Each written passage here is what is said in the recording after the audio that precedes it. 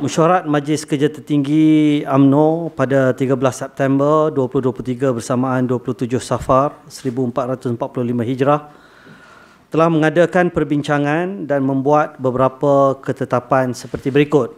Pertama, menyatakan penghargaan kepada seluruh jentera pilihan raya kecil Parlimen Pulai dan Simpang Jaram yang diketuai oleh Yang Berhormat Datuk Seri Muhammad Khalid bin Nordin Pengurusi Badan Perhubungan UMNO Negeri Johor merangkap naik Presiden dan Yang Amat Berhormat Datuk On Hafiz bin Ghazi, Menteri Besar Johor.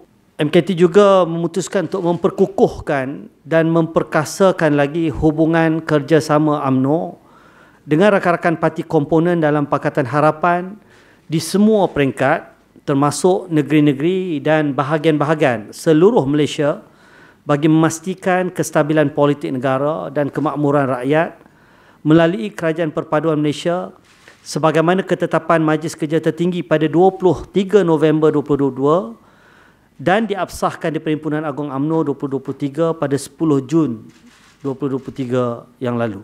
Kita juga menyambut baik cadangan Yang Amat Berhormat Perdana Menteri untuk mewujudkan kembali Konvensyen Ekonomi Bumi Putra dan AMNO menawarkan untuk mengurus selia penganjurannya sebagaimana yang pernah UMNO laksanakan pada 1965 sehingga tertubuhnya MARA setahun kemudian iaitu pada tahun 1966. Dan akhir sekali kita juga meminta seluruh pimpinan UMNO yang mengangkuti pentadbiran negara terutamanya menteri-menteri, timbalan-timbalan menteri termasuk juga pengurusi-pengurusi agensi dan syarikat-syarikat milik kerajaan JLC supaya memperteguhkan usaha dengan memfokuskan agenda mensejahterakan rakyat yang sedang bergelut dengan kos sara hidup yang kian meningkat. Datuk, isu yang dibangkitkan Datuk Isham ada bincang tak dalam meeting? Isu apa yang dibangkitkan? Dia pun tak datang, dia pun tak bangkitkan apa-apa lah.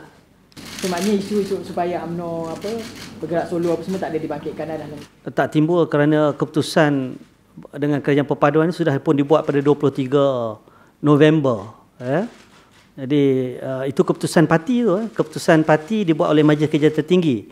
Sebab tu saya sebutkan dalam kenyataan tadi dan diabsahkan dalam perhimpunan agung AMNO. Uh, berkenaan dengan keberadaan kita dalam kerajaan perpaduan Malaysia pada peringkat awalnya atas titah ini Pertuan Agong.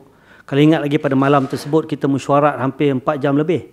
Habis pukul 1.38 pagi yang kita isukan kenyataan kalau kita hanya sekadar uh, apa berbincang mengenai titah ini Pertuan Agong uh, mengikut perlembagaan parti kita memang kena patuh kepada titah ini betul sebab uh, yang Pertuan Agong kerana kita adalah parti yang mempertahankan institusi Raja-Raja Melayu. Jadi sebab itu kita letakkan uh, hitam putih dalam dua perjanjian uh, sebelum kita bersetuju untuk uh, bersama dengan uh, membentuk Kerajaan Perpaduan Malaysia. Dan dalam perjanjian tersebut kita letakkan dengan jelas syarat-syarat. Kita bersetuju untuk bersama dalam kerajaan perpaduan Malaysia ini selagi mana empat perkara penting jangan sekali-kali disentuh. Pertama, kedudukan Islam sebagai agama persekutuan, perkara tiga. Perkara 153, keistimewaan Melayu, eh, Bumi Putra.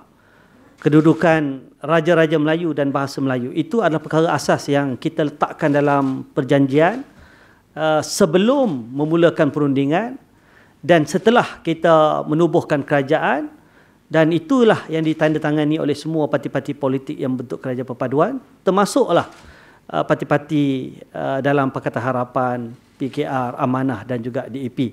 Kalau boleh saya kongsikan pada hari pada malam tersebut 56 ahli-ahli majlis kerja tertinggi semua setuju.